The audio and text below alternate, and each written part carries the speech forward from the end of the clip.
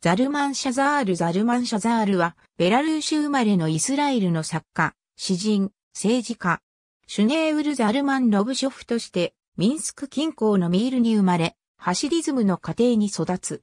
シュザールという名字は、本名の頭文字をヘブライ式に略記して作ったものである。18歳の時、シオニスト組織ポアレーチオンに参加した角で、帝政ロシアの警察に逮捕され、2ヶ月間の投獄生活を経験した。その後、ペテルブルクやスイスやベルリンでユダヤ史を学び、ロシアのイディッシュ新聞に寄稿。1924年にパレスチナ移住。労働党の創設に参加し、1944年から1949年までイスラエルの新聞、ダバルの主筆。